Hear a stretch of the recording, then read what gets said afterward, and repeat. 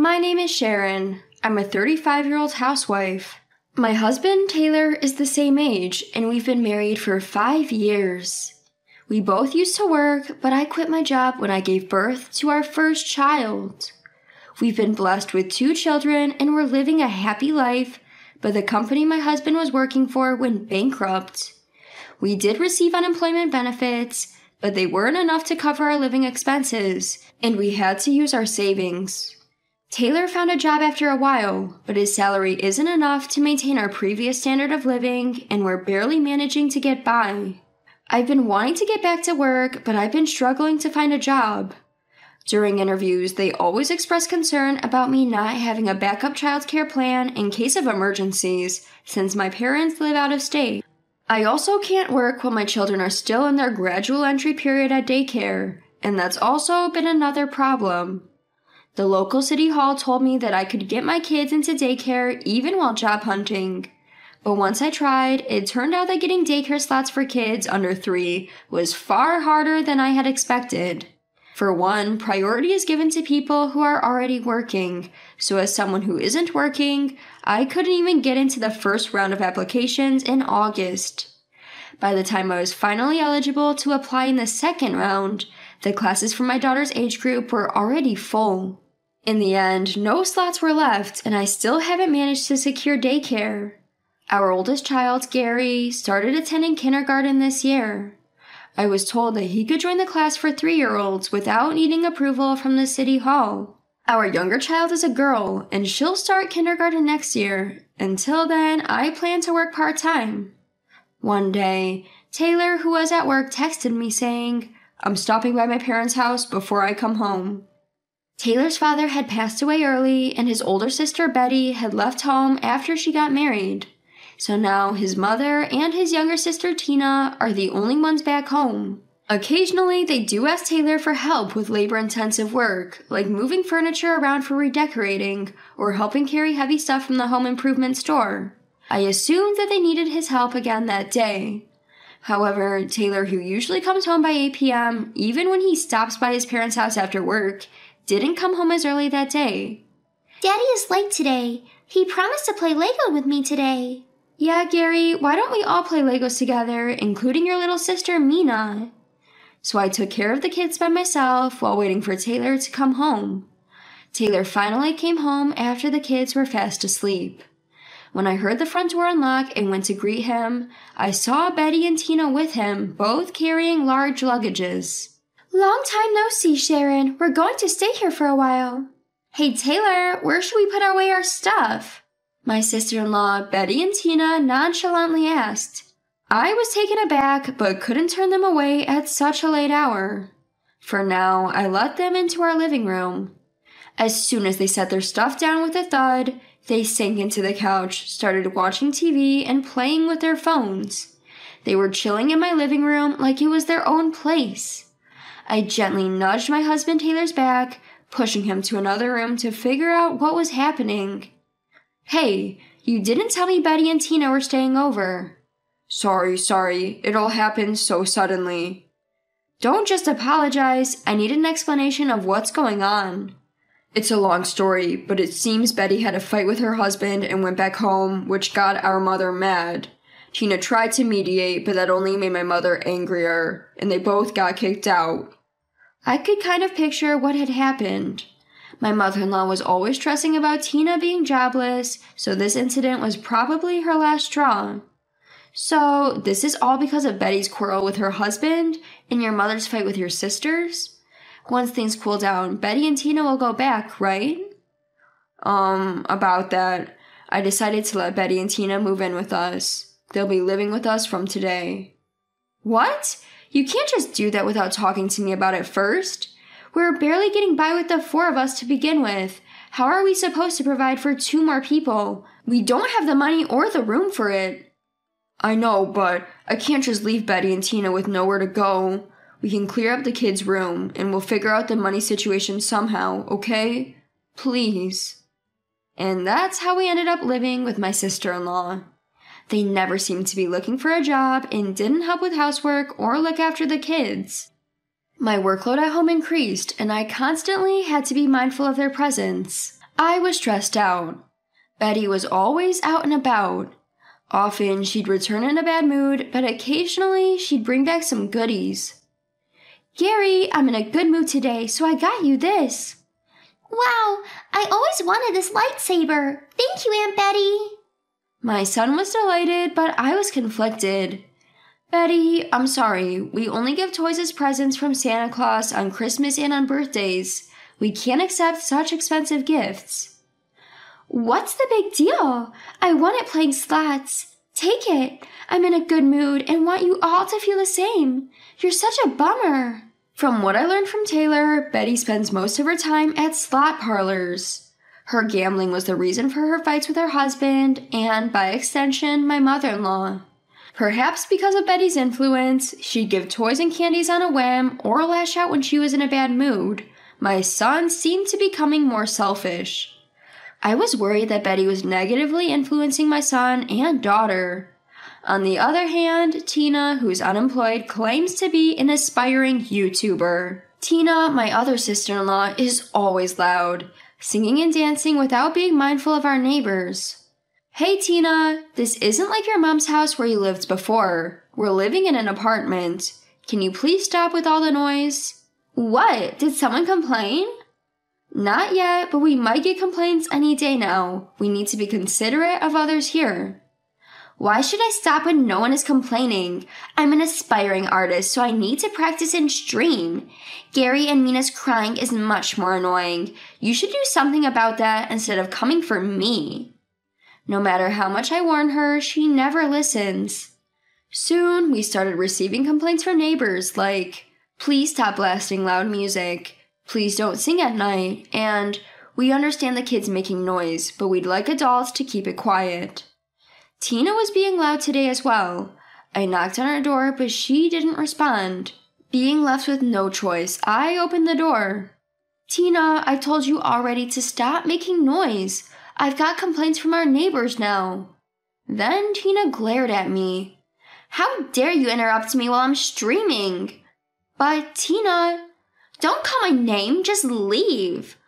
My daughter Mina, startled by Tina's yelling, started crying. Ugh, you guys are the loud ones here. Please make her shut up. All I could do was try to calm down my sobbing daughter. Even though I'm the one who has to apologize for the complaints, Tina neither improves her behavior nor shows any signs of remorse, leaving me at my wits' end. When Mina finally fell asleep from crying, the intercom rang. I opened the door, dreading another complaint, but this time it was a mailman. The package, which seemed to be from an online shop I've never heard of, was for Tina. Although I couldn't open it, I was curious about what she had bought. It turned out to be from some expensive brand. The feminine dress Tina often wears seems to be from the same brand. While I'm unable to afford much for myself, I felt sick to find out that my jobless sister in law was spending a fortune on clothes. If my sister in law continued to splurge like this, there's no way we can make ends meet. Since my husband Taylor is the one giving the money, I grew concerned and decided to talk to him. Don't you think Betty and Tina are spending too much? Gambling and buying expensive dresses, where's all this money coming from? They're not borrowing from sketchy places like loan sharks, are they? Don't worry, don't worry. They're not borrowing money from such places, and I can handle our finances. Just stop worrying. Taylor insisted everything was okay and seemed to be arranging money from somewhere. To be honest, I was hoping that my sister in law would go back to their parents' home soon, but I was enduring the situation for now. And so, one day, about a month after I started living with my sister in law, I got a text from a friend from high school that she had a baby, and I decided to gift her some money from my personal savings. Before I got married, I lived at my parents' home and was able to save up about $4 million, including my bonuses, which I had originally intended to use for my wedding. However, my mother told me, don't use the money you saved before you got married. It's important to have some in case for an emergency. So I left it untouched. Although I was saving it for building our own house in the future, I wanted to spend some money for my friend's celebration. Even though we were financially struggling, I couldn't just not gift her anything, so I decided to withdraw a little amount from my savings. but I just couldn't find my debit card, which I thought I had kept safe with me. For a moment, I thought it might have been stolen, but my passbook and seal are still there, so it didn't seem like a thief had ran through our place. I thought I must have misplaced it myself, so I decided to search for my debit card later and in the meantime, go to the nearest ATM and withdraw some money using my passbook. When you make a passbook withdrawal, it automatically records it, but the passbook didn't come out for a while and it kept printing something. As the machine noise went on and on, I started to get a bad feeling. Finally, the recording finished, and as I suspected, my balance had decreased and there was only about half of the original amount left. When I checked the withdrawal history, I could see that the money had been withdrawn several times after my sister in law arrived. Seeing that, I was sure it was my husband Taylor's doing. Since the money was originally intended for our wedding fund, of course Taylor knew about my savings. I had the same PIN for all my bank accounts, and there was a time when I told Taylor the PIN so that he could withdraw some money from a different bank account shortly after I gave birth to my child. I guess he must have remembered the PIN I told him then. I reached my limit when I found out that Taylor was covering the living expenses of my sister in law with my savings and decided to consult a lawyer. The lawyer told me, It's hard to take legal action because theft among relatives is exempted. However, all savings before marriage are personal assets, so you can recover the depleted savings separately from the property division and alimony when you get divorced. He said the bank could suspend my debit card, so I called them and they were very helpful and immediately put a stop to it. I told my parents about this, that I couldn't go on with Taylor, and that I was firm in my decision to divorce. My parents seemed incredulous about what Taylor and his sisters had done. Even so, they said, if you're going to get divorced and come back, we'll always welcome you, which I found very reassuring. Next, I called Taylor's family. I'm having trouble because Tina and Betty came to my house, and with Taylor, they're doing whatever they like.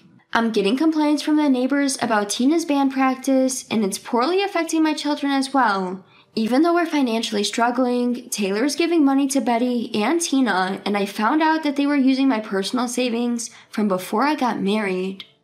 Hearing my words, Taylor's mother sighed deeply. After not hearing from them for a while, I thought they were doing well, only to hear this. I'm really sorry about all this. They are truly a hopeless bunch. It's my fault for raising them this way. You can kick those three out right away, and I'll make sure they repay you for the money they've taken. No, it's not your fault, mother in law. I'll get the money back from Taylor himself. Can you keep this a secret for a while? I understand. However, can I tell Betty's husband about this? Apparently, they had an argument over Betty's gambling habit, which is why she moved back in with me and now her husband keeps contacting me. Agreeing to my mother in law's suggestion, she informed Betty's husband about her whereabouts and the situation. Betty's husband then wanted to hear the story directly from me, so we arranged a phone call during his break. I'm really sorry for the trouble my wife had caused you. I don't know how to apologize. At the beginning of the call, Betty's husband apologized to me. According to him, Betty had started going to the casino with her friends and got hooked after winning big with her beginner's luck. At first, he had hoped she would lose interest and quit, but instead, she began to dip into their living expenses when she ran out of her own savings. This led to a fight, and she had returned to her parents' home. And now he found out that she had also taken my money. He was utterly disappointed in my sister in law. Thus, both my mother in law and Betty's husband came to support me. It would have been best if they were present during the discussion, but since I had already blocked my debit card, it was only a matter of time before my husband found out. As a result, I decided to have a talk with him that night. After the children went to bed, I approached my husband who was watching TV in the living room. I need to talk to you. Hey, what's up now? Is it about my sisters again? Instead of answering, I put the bank book of my savings from before marriage on the table. I was going to send a gift to my friend, but I noticed that my debit card is missing. Do you know anything about it? Are you accusing me of stealing your card? As he said this, my husband had a guilty look on his face. Seeing this, I was certain that he was the culprit. Take a look. The amount in my savings has been decreasing since the day you brought Betty and Tina here. It looks like you guys used it. What's going on? You're the one who took them in without consulting me, right? Didn't you say you'll cover their expense on your own? In response, my husband snapped back. Hey, it's just borrowing some money from our joint account, right? We're a family, so we're supposed to help each other out. I'm disappointed you're so heartless. If you want to argue, let's get a divorce. I've been waiting for you to say that. Huh? It might not be a crime to steal money within a family or a married couple, but it's a different story if we're getting a divorce. The money you guys spend is from my personal savings account, not from our joint account. Since we're getting a divorce, I'll have you pay back the amounts you guys spent. What? Wait, you're joking, right? Calm down. I won't wait. You bringing up divorce just to have things go your way? That's called emotional abuse. We're getting divorced, and I'm also going to demand compensation for all of your abusive behavior so far. My husband argued, but the next day I packed my belongings and returned to my parents' home. Afterwards, I proceeded to handle the divorce through my attorney. My husband ended up burdened with substantial debts due to the division of assets, compensation for emotional abuse, and repayment of spent savings. On top of this, he has to pay child support until our two children turn 18. His sister Betty also received a divorce notice from her husband, citing her reckless spending. She is being sued for compensation as well. Tina, his younger sister, was sued in a civil court for continuously ignoring complaints from her neighbors. The three of them, in desperation, went to their mother pleading, Mom, please help us. You guys have the nerve to come back? I've never seen such disappointing children. We're severing our ties today. Never show your faces to me again. But, Mom, Cut off even by their own mother, my ex husband and his sisters were cornered and at a loss. I returned to my parents' home and my son transferred to a kindergarten around here. While my mother took care of my daughter, I started working. Just as I was getting used to my new job, my ex husband, Betty and Tina, came to my parents' home begging for money and asking to let them move in with us. All three of them came together once every two or three days. Of course, I avoided meeting them in person. They all pleaded over the intercom. Please keep this between us and don't tell mom and the others. Worried of getting into another trouble, I recorded the intercom footage and also took videos with my phone. I compiled these video files and sent them to their mother, my former mother in law. I added a note. They're still coming after us. I hope you can do something about them. From my former mother in law, I received only an apology and a promise that she would take care of it. She was enraged, so I'm guessing all three of them had a rough time with her coming after them. Also, their betrayal of each other came to light, which would probably lead to their downfall. I'll leave the rest to your imagination. As for me, while I may have my children feeling lonely at times, our living conditions have definitely improved. I can afford my own things and I am able to live and enjoy my life now. My children are emotionally more stable than when we lived with my ex husband and his siblings, so I'm glad we got a divorce. From now on, I will continue to cherish this peaceful life I have now.